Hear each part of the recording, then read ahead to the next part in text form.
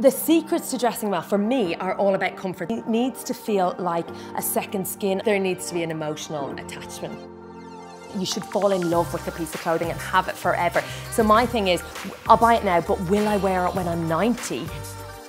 It's about wearing clothes instead of them wearing you.